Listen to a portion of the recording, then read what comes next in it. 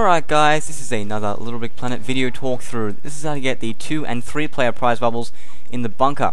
Now eventually you'll go through the um, the electric rotor tubes and you'll come to this little part here.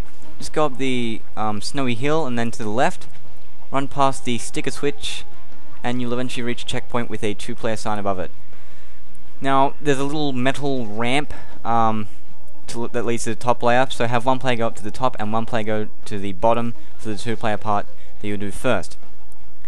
Now to pull the bottom right lever to the left, uh, I'm sorry, to the right, then pull the bottom left lever to the right as well, to the um, right so the top player can get in. Then pull the bottom left le uh, lever to the left, then that player can go through, and then pull that pull the bottom left lever to the right once the top player stepped on the button, and you can get those prize bubbles there. Now to get the three player prize bubbles, we seem to have got really confused with what we're doing here, and we've taken like a minute just to figure this out.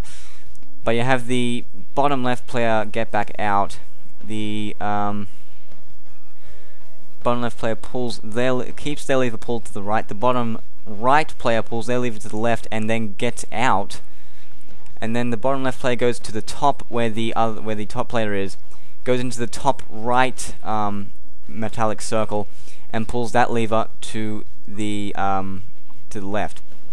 So the bottom left person pulls their lever to the right, so that the top so that the second top player can go into the top layer. Like this, then that that player who just entered pulls this lever to the left, and the person who just ju jumped on the button can just go in and get those prize bubbles there. And once you got all the prize bubbles in this area, that's it.